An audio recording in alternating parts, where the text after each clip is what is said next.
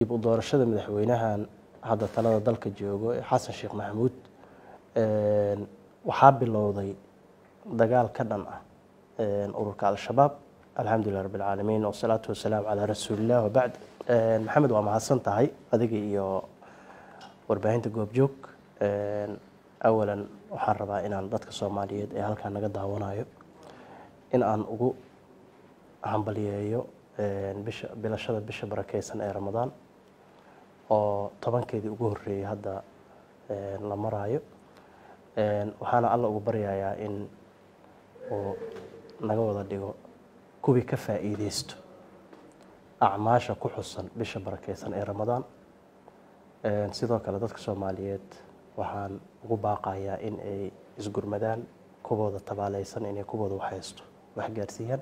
Intaas markaan ka gudbo ee aan u soo noqdo su'aashaadii ahayd madaxweynaha jamhuuriyadda oo booqday degmada qadiimiga ah ee aadan yabaal. Runtii degmada aadan yabaal oo ah degmo qadiimiya la aqoonsaday sannadkii kun sagaal boqol laba iyo lixdankii madaxweyne xasan sheekh maxamuud booqashadiisi waxay noqonaysaa booqashadii labaad ee uu madaxweyne soomaaliyeed ku tago degmada aadan yabaal. Runtii waxaana isdhihi karaa waa booqasho taariikhiya weliba xilli loo baahnaa oo la rajeynayo dalka inay dib uga bilowdaan howlgalkii la dagaalanka al-shabaab wejigiisii labaad. Saas daraaddeed booqashadaas booqasho taariikhi ahayd waa aadaana mataqaanaa ugu bogaadinaya madaxweynaha jamhuuriyadda dib u doorashada madaxweynahan hadda talada dalka joogo ee xasan sheekh maxamuud waxaa bilowday dagaal ka dhan ah ururka al-shabaab. Runtii intii dagaalkaas uu socdayna waxaa dalka laga yani laga xoreeyey in ku dhow toddobaatan deegaan iyo magaalooyin sidoo kale qadar dhuleed uu gaarayo toddoba boqol oo kilomitr waxaan ku tilmaami karaa waa howlgal muhiim ah. Dabcan intii uu socdayna guulo wax ku ool ah ayaa laga gaaray. Haddana waxaan is leeyahay wakti ku habboon ayaa la iclaamiyey dagaalka wejigiisii labaad sida muuqatana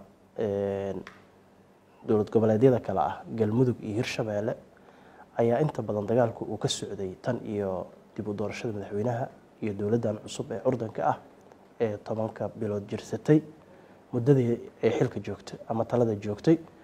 Waxaan is leeyahay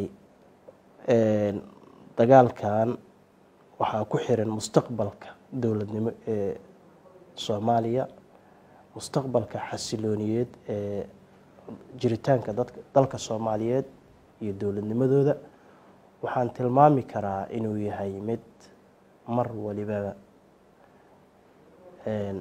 muhiim ah in uu mataqaanaa mar dalka ka bilowdo maadaama aysan suuragal ahayn shan iyo toban sano kadib in ay shabaab dadka soomaaliyeed sii hortaagnaadaan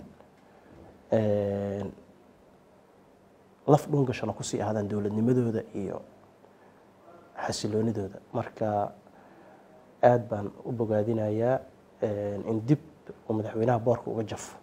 Wax weliba oo mataqaanaa dalkan hadday tahay horumar hadday tahay dimuqraadiyadeyn doorashooyin maalgashi allahu mustacaan calaa maa tasifuun yacni waxaasoo idil. Waxay ku xiran tahay dalkan xasiloonidiisa iyo amnigiisa howlnama socon karto. Haddaana dalku ammaankiisa uusan noqonin mid la ysku haleyn karo. Marka waxaan dhihi karaa howlgalladan iyo in dalka laga xoreeyo.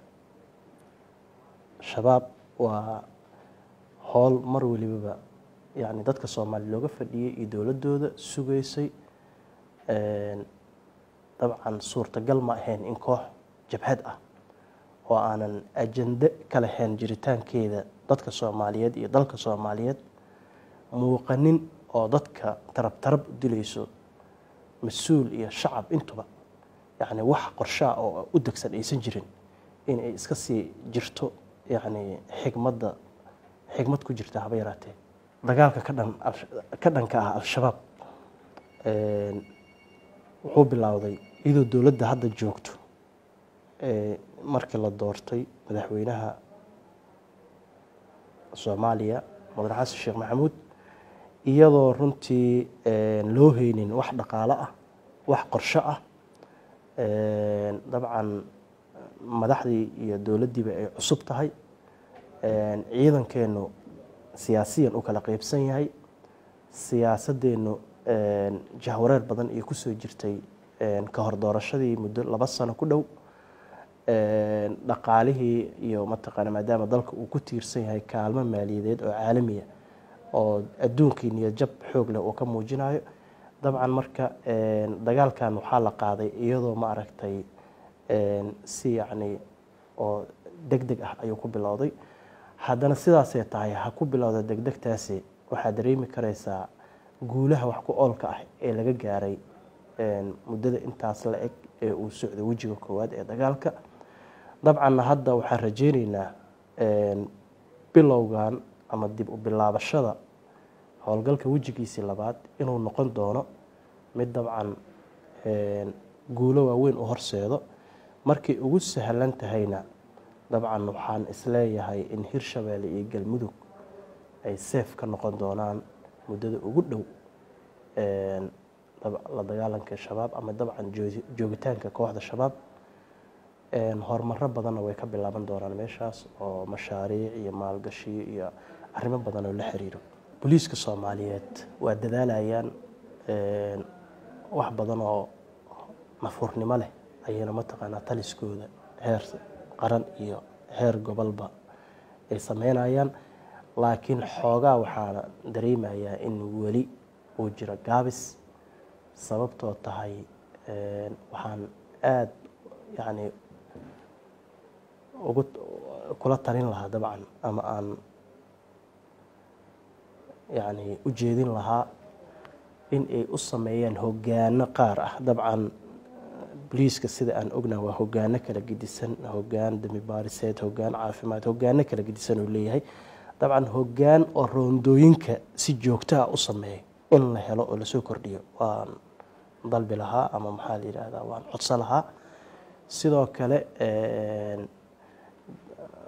waxaa khatar magaalada hadda ku haayo qeybo ka mid ah kooxo qowleysata ah oo ciyaal weero isku magac daray oo runtii aanan ciyaalna lagu tilmaami karin laakiin aan dhihi karno dad oo mataqaanaa nidaam daradaas bariiska ka galay.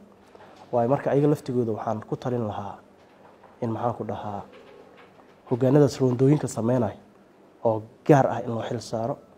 Waxaan is leeyahay dabcan boliiska hagar igama muuqato. Laakiin hal abuur xumo waa suurtagal in mataqaanaa ay jiri karto mararka qaar. Waxaana rajeynayaa in ay mataqaanaa yani wax ka baran doonaan maaragtay talooyinkana maxaa la yidhaahdaa dadka ay wax ka siin doonaan. Marka waa tallaabo wanaagsan waana rajeynayaa inay mataqaanaa magaalada muqdisho ammaankeeda inay wax badan ay ka qaban karaan. Shirkadda beeko waa shirkadda ugu weyn ee bixisa adeega korontada soomaaliya. Beeko waxa ay koronto siisaa inta badan koonfurta soomaaliya sida banaadir jubbaland hirshabeelle iyo koonfur galbeed. Beeko waxa ay siisaa adeeg koronto oo dhammaystiran dhammaan toddobiiyo tobanka degme ee gobolka banaadir iyo goobaha ugu waaweyn magaalada muqdisho sida ayrboorka aadan cadde dekedda muqdisho iyo dhammaan safaaradaha iyo hay'adaha caalamiga ah